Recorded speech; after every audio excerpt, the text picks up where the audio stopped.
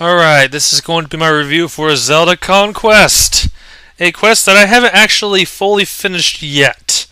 Now, I have a rule, um, I haven't done level 10, or, well, I'll, I'll go into detail about level 10 in a moment, but I haven't finished level 10, but as far as optional content goes, if it's terrible, I can't downrate it because, once again, it's optional. But uh, I will say I'm actually I was having fun with level 10. I'll talk about that in a moment.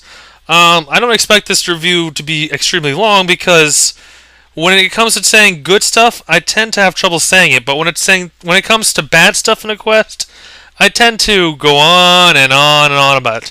And as far as this quest goes, I can can't really find much bad with it. I actually really, really had a lot of fun with this quest.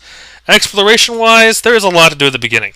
There is so much you can do, and uh, there is some like extra areas. Like at first thought, like my first impression when you first start playing, it's one overworld, or maybe there might be a two wide overworld.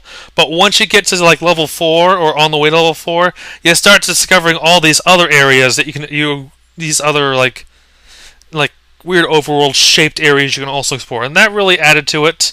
Um, there's a lot of money in this quest. Uh, money hasn't really been a concern in this quest, considering the number of bomb bags I kind of bombed. I mean, I'm bought a lot. So it's like money was nearly no object, which is kind of nice because I didn't have to sit around and grind a lot like I usually do sometimes. So really, it gave you the supplies. It gave you a lot of stuff to find. Gave you a lot of stuff to get. The music, music choices were definitely really good. Dungeons were good. Um, let's see here. Respawning bosses added a nice little challenge to it as well. Um, you didn't start to really see that till like the later levels, of course. And the additional enemies, especially some of those killer ones, really brought on some challenge and probably some annoyance as well.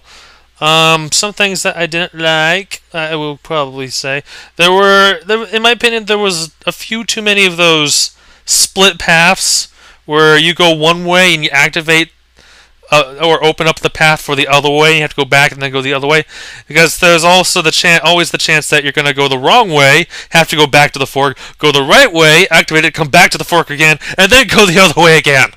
And that uh, that was a little bit too much. I mean, having a little bit is great, but yeah, you kind of went a little overboard in my opinion on that. So that's my that's one of my complaints. Another thing, well, it's not really too much of a complaint, not really that big a deal. Um, a lot of bomb wall, bombing walls to get to like secrets and stuff that you don't really see the secret until like you know like level one and two had this a lot. You go by here, you see like there's a chest attached to a, and atta- there's no doorway reaching it. You know you missed a bomb wall. Uh, this can be easily negatable because you can have at least 30 bombs near the beginning of the game, so and it gives you plenty of money to it. So really, there wasn't a problem with it. Um, my other issue is that I was doing level 10 earlier today, and guess what? It crashed. Zelda Classic crashed. Because apparently there's this nice little purple 100 segment Moldorm or Lanmola, I'm not sure which, but it caused my game to crash, and guess what? I had to do all of level 10 all over again, and I'm not going to have fun doing that now. Oh no, no, no, no, no, no, no, no. Oh god. I will definitely say you went a little over the top there. that level is, while optional, pretty exciting and very, very interesting. Very fun.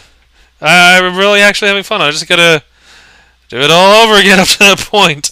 But I'm not gonna downrate you to that. That's more of a Zelda Classic error, I guess. I don't know. I don't know Zelda Classic that well. Uh, oh, I had one more thing I thought. Apparently I can't think of it. Oh, I thought I had something. One second.